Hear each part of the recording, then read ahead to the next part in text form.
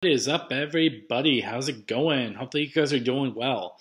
In today's video, I'm going to be discussing the Black Friday deals that are going on, kind of like what I've been exploring and the struggles I've been choosing in terms of games and products and stuff like that. So, in terms of Black Friday, I saw that there is a 25% off for PlayStation Plus. I am deciding um, and considering buying another year of PlayStation Plus Essential. It is a good offer. I think I got it. I see it for around forty-five dollars instead of sixty. So that might be a good deal. Um, I also saw that controllers are fifty dollars for PlayStation Five.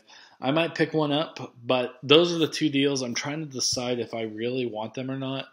Um, but in terms of other game deals, I didn't really see many others. I did see two that I gotten, and I will share with them in a second. But going back to PlayStation Plus, I did see that in terms of my upgraded, if I want to upgrade, I can upgrade for $100 to extra. But the thing is, I don't really know if I should. I don't, first of all, I don't know if I will use it. And second of all, if I do use it, I'm not sure if I'm going to be playing everything. It might be too overwhelming. I don't know in terms of the full scope of what I'll be doing if I got extra. So I don't know. I'm just going to hold off on that for now.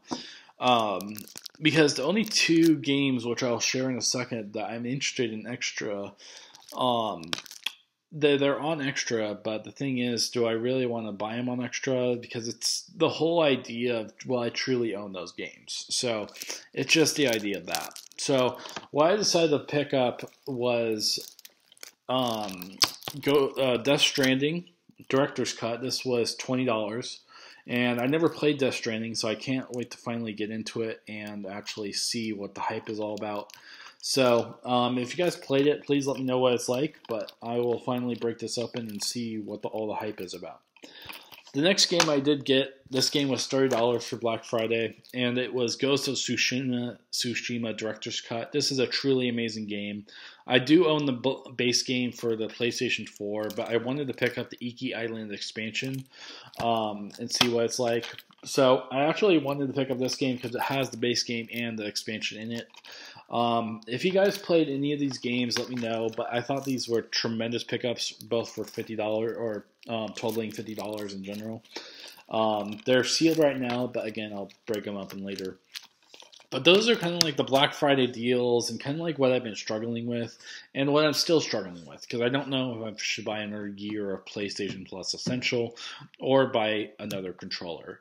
Um, it, it's just it, it's hard because I, I have a limited budget or I want to have a limited budget. I don't want to spend like three hundred dollars during Black Friday.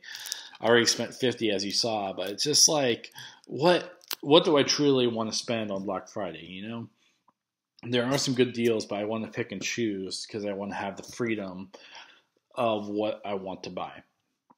So those are the Black Friday deals. Um, I know there are some going on at Walmart, GameStop, um, some at Best Buy. I do want to pick up the Persona 5 Steelbook Standard Edition at Best Buy. I think it's like $30, but the thing is, it's unavailable and sold out.